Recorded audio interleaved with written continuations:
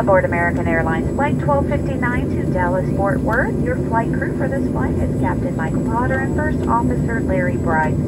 From Toronto to Dallas Fort Worth, our flying time will be 2 hours and 41 minutes at an altitude of 34,000 feet. Dallas weather conditions 77 degrees Fahrenheit, 25 degrees Celsius.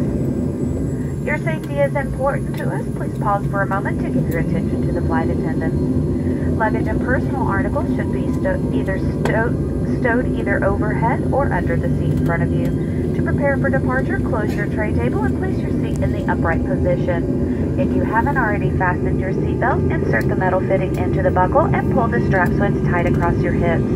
To open your seatbelt, lift the top of the buckle. Keep your seatbelt fastened when the seatbelt sign is on and just just in case there's turbulence, keep it on whenever you're in your seat.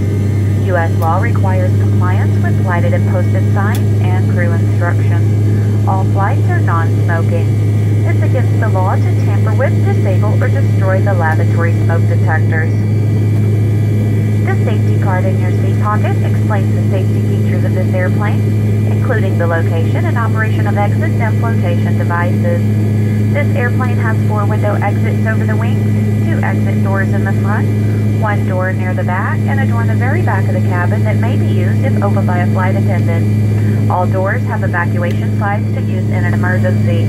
When directed to exit, jump onto the slide and move away from the airplane. In a water evacuation, the exit door slides can be detached and used as flotation devices. All exits are clearly marked with signs and opening instructions. If needed, exit path lighting in the aisle will illuminate on or near the floor to guide you to an exit indicated by signs or red lights.